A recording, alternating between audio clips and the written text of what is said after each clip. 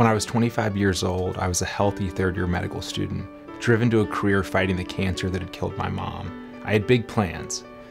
When suddenly I became seriously ill. I spent several months in the ICU with multiple organ system failure, getting my tail beat by a mysterious illness. I even received my last rites, recovered, relapsed, and then pulled through again. I nearly lost my life to Castleman disease, a disease that few people have ever even heard of, a disease that has no cure and is so deadly because too little research has been done.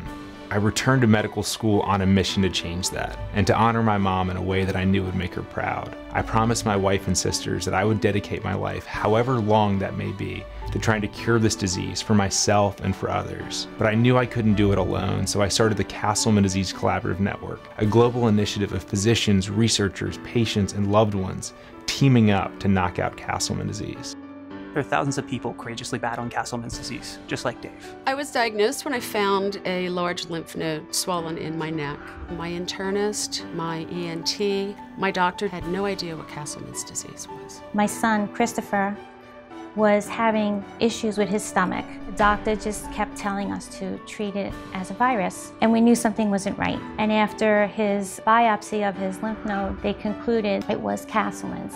And then through research online, I came upon the CDCN, and we met David Fajgenbaum. The doctors came up with a plan, and we are doing good now. I think that many uh, Castleman patients would agree that most doctors are not aware of this, um, and many people are not aware of this.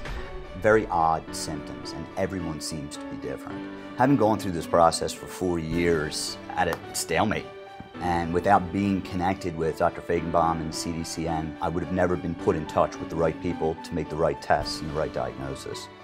I was diagnosed after four weeks of being sick. It started with what I thought was a flu and they did the lymph node biopsy, which conclusively diagnosed me with Castleman's disease. With uh, Dr. Fajgenbaum's advice and help from the CDCN, and we'll begin a maintenance program because it looks like I'm going into remission. Castleman's disease is as common as ALS. There are three major subtypes, two of which are more deadly than lymphoma. It's very challenging. Patients often are misdiagnosed initially with other diseases. In Castleman's disease, the immune system attacks the body's vital organs in a very relentless fashion, shutting them down.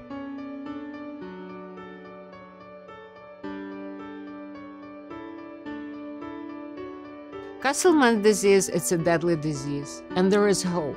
We are making significant progress in developing diagnostic criteria, doing research to identify genetic mutations, and also, more importantly, building clinical networks. In fact, we built a remarkable network which completely changed our understanding of Castleman's disease. But more studies are needed.